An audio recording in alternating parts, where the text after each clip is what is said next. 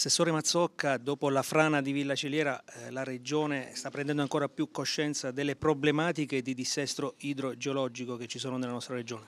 A dire la verità prima, tant'è che eh, è da qualche tempo che abbiamo stipulato questa convenzione con l'Ordine dei Geologi d'Abruzzo, eh, che ringrazio anche per la loro estrema disponibilità sensibilità che hanno avuto nel raccogliere l'appello proveniente dal territorio nel sostenere eh, quasi a titolo di volontariato eh, le attività propedeutiche eh, conseguenti a eventi franosi come quello purtroppo di Villa Ceriere. Oggi eh, sottoscriviamo una richiesta per eh, la calamità naturale, per il riconoscimento dello stato di calamità naturale, perché riteniamo che ce ne siano le condizioni.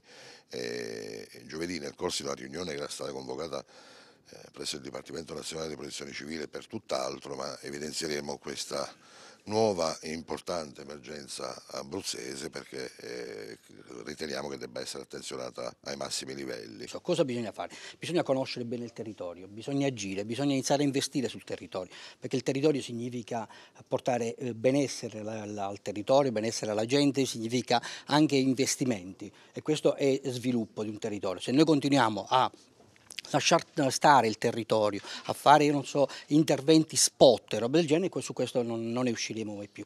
Secondo i dati dell'APAT noi abbiamo il 92% dei nostri centri abitati hanno delle criticità geologiche. Ville Celiere è una delle tante criticità geologiche che interessano il nostro territorio e quindi ma ce ne sono dappertutto, è uniformemente diffuso dappertutto. Il Chietino ovviamente mostra le, la maggior parte, la maggiore concentrazione di frane, poi abbiamo Pescarese, Teramano, eccetera, ma è diffuso un po' dappertutto.